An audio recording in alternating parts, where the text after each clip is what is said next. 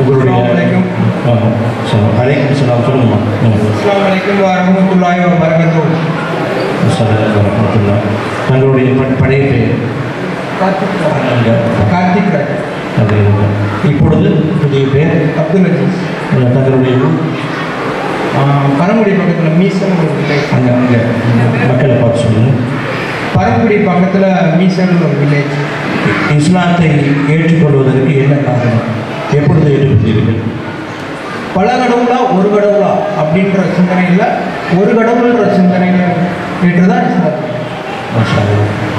அதாவது கடவுளை பற்றி ஆய்வு செய்து ஒரு ஆ. தெளிவான முடிவுக்கு வந்து இஸ்லாத்துக்கு சிந்தனை நம்மளை படித்தது எத்தனை பேர் எப்படி பல பேராக இருக்க முடியும் அப்படின்ற சிந்தனையில் அதை சிந்திச்சு கடைசியில் நம்ம படித்தது ஒரு கடவுள் தான் அப்படின்றத இஸ்லாத்துக்கு தாங்கள் தனியாக வந்திருக்கிறீர்கள்.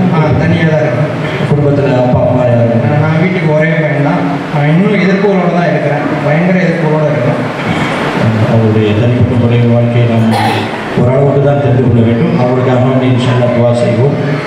நல்லா பார்க்கம் செய்வோம் தங்களுடைய இன்றைய நிலை எதிர்ப்பு அப்படின்னு சொன்னீங்க. எந்த மாதிரியான எதிர்ப்பு? தாங்கள் தங்களுடைய வாழ்க்கையை எப்படி சமாளிக்கிறீர்கள்? வழிபாடு ரீதியாக ஏதாவது தொந்தரவுகள் இருக்கிறதா என்று நீங்கள் விரும்பினால் பயந்து கொள்ளலாம். எதிர்ப்புகள் எப்படின்னா நம்ம இதே மாதிரி சென்னைக்கு வந்த இஸ்லாம் சென்னையில் ஒர்க் பண்ணுறோம் அவங்க இதே மாதிரி பேசணும். ஊரில் எதிர்ப்புகள் வந்துச்சு.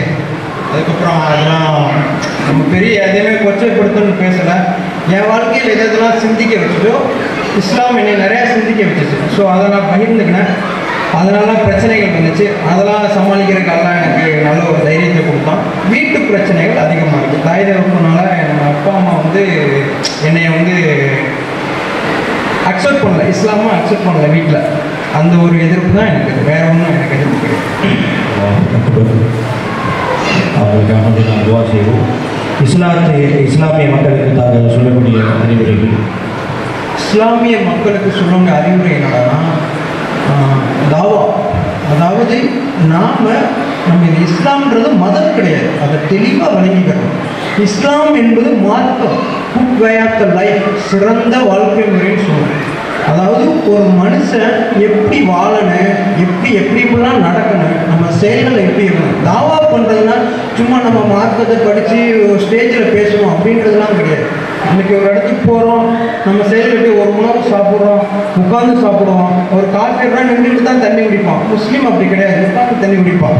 அப்போது ஒவ்வொரு ஆக்டிவிட்டீஸ்லையும் ஒரு இஸ்லாமியன்னா அது தனியாக தெரியணும் ஒவ்வொரு இடத்துலையும் ஏன்னா என்னை பார்த்து நிறைய பேர் கேட்டுருக்குறாங்க அப்போது இப்போ என்னுடைய நாயெல்லாம் எப்படி சொன்னால் ஜஸ்ட் இறைவன் ஒருவன் தான் இருக்கிறான் அப்படின்ற ஒரு செய்தி அந்த மக்கள் மனசில் போட்டுரும் அப்போதான் ஏன் நம்ம இன்னைக்கு இஸ்லாமியர்கள் எல்லாரும் இன்னைக்கு வந்து இன்னைக்கு உங்களுக்கே தெரியும். அவ்வளோ பேர் எவ்வளோ எதிர்க்கிறாங்க. ரீசன் என்னடானா நம்ம மார்க்கத்தை யாருக்குமே சொல்ல மாட்டோம். நம்மளே புராணம் படித்து நம்மளே தூக்கி வச்சிருக்கோம் தவிர பிற மக்களுக்கு சொல்ல மாட்டோம். அதுதான் இது.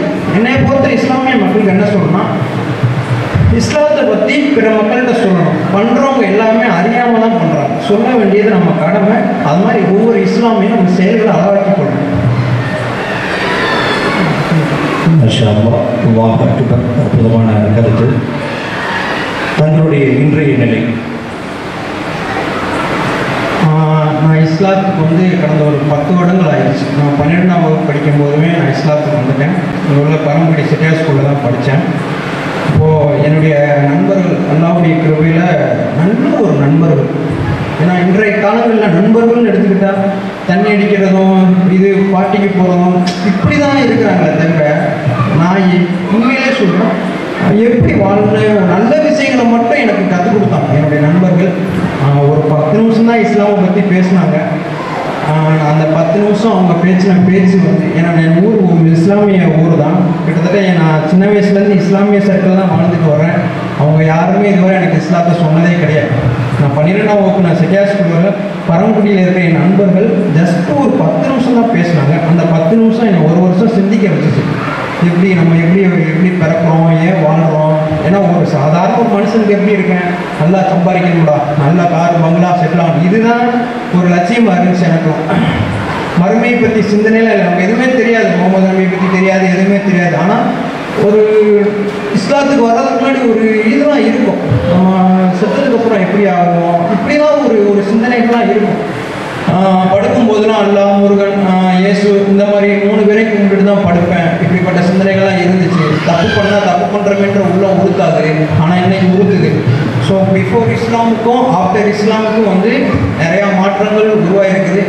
அது என்னாலே உணர முடிகிறது எல்லாம் எனக்கும் நிறையா ஒரு சில இடங்களில் கண்ணியத்தை கொடுத்துருக்கான் பிற மக்கள்கிட்ட எப்படி பேசணும் எப்படி நடந்துக்கிறணும் இதெல்லாம் இஸ்லாம் வந்து எனக்கு அழகாக கற்றுக் கொடுத்துருக்குது. மற்ற சமயத்தை சார்ந்தவர்களுக்கு தாங்கள் சொல்லக்கூடிய அறிவுரைகள். அஹ் சமுதாய சார்ந்தவர்கள் இதை எப்படி எடுத்துக்கிறோம்னா இதை ஃபஸ்ட்டு நீங்கள் மதம் புரிஞ்சுக்கிறாதீங்க.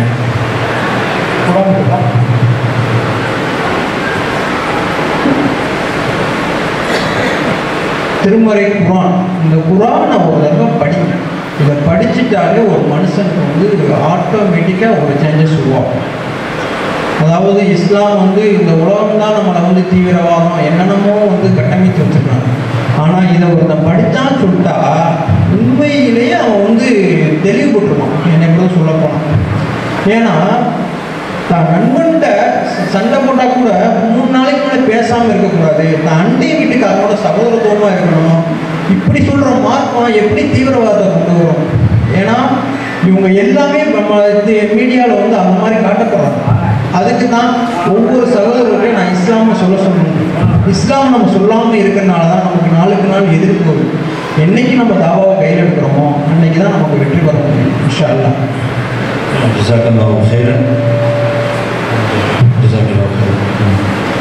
அல்ஹம்துலில்லாஹ். இன்ஷால்லா எனக்கும் என் ஃபேமிலிக்கும் துவா செய்யுங்க. கடும் எதிர்ப்புகளோட இருக்கிறேன். இன்ஷால்லா அல்லாவுக்காண்டி இருக்கிறேன். இருப்பேன். இன்ஷால்லா அதிகமாக துவா செய்யுங்க வாயிரநாளாய் அண்ணந்துள்ளாய் ரபியல் அலமின் அஸ்லாம் வலைக்கம் வரமத்துள்ளாய் வரகத்து